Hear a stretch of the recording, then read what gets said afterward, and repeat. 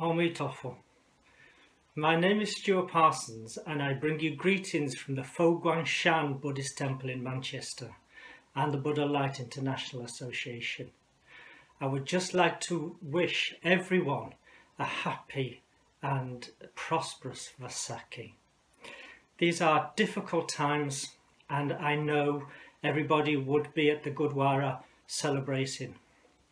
I grew up personally in Coventry, so Sikh friends, Sikh families are very, very close to my heart. I know your generosity, I know your kindness and I know your hospitality.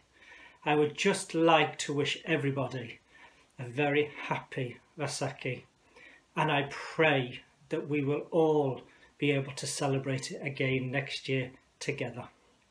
Omitofo.